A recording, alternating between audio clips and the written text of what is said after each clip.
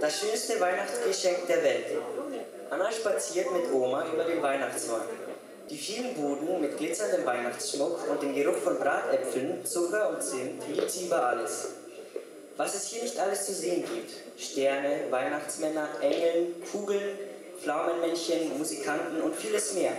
Anna weiß nicht, wohin sie zuerst schauen soll. Von überall her erklingen Weihnachtslieder und auf der, einer Bühne wird ein Krippenspiel aufgeführt. Spannend ist das. Ein Weihnachtsmann kommt vorbei und schenkt ihr ein Lebkuchen. An einem Spielzeugstand trifft Anna ihre Freunde Maria und Basti. Weihnachtsmarkt ist schön, sagt Anna. Freut ihr euch auch auf Heiligabend? Maria nickt. Und wie? Fast nicht mehr abwarten kann ich es.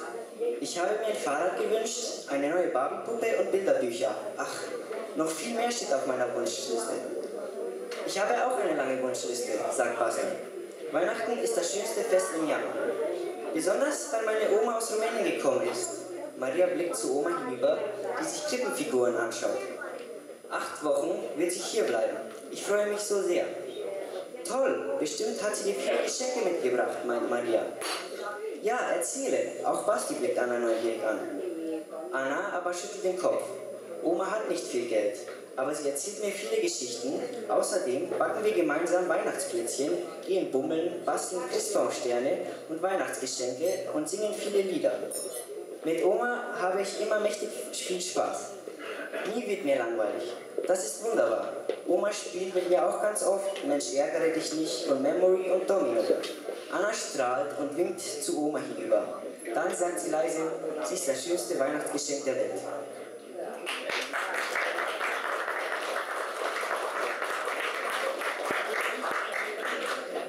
Cel mai frumos cadou de Crăciun din lume. Ana se plimba cu bunica prin piața de Crăciun. Iubește mai presus de toate standurile cu decorațiuni de Crăciun și mirosul de mere coapte cu zahăr și scorțișoară. De ce? Dar ce nu vezi aici? Stele, moș Crăciun, îngeri, globuri, omuleți din prune, muzicieni și multe altele. Ana nu știe unde să se uite mai întâi. De pretutindeni răsună colinde și pe o scenă se joacă o piesă despre nașterea Domnului Isus. Este frumos. Un moș Crăciun trece pe lângă ea și îi dă o turtă dulce. La un stand de jucării îi întâlnește pe prietenii ei, Maria și Basti.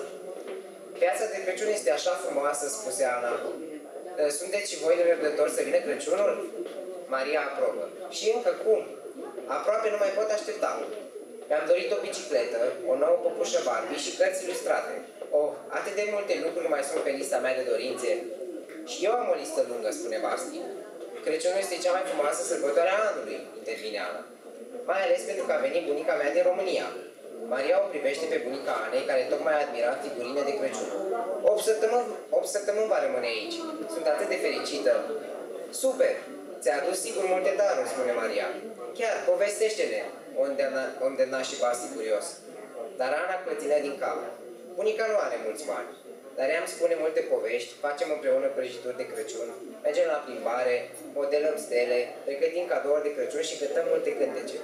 Bunica mă distrez mereu cel mai bine. Nu mă plictisesc niciodată. Este minunat.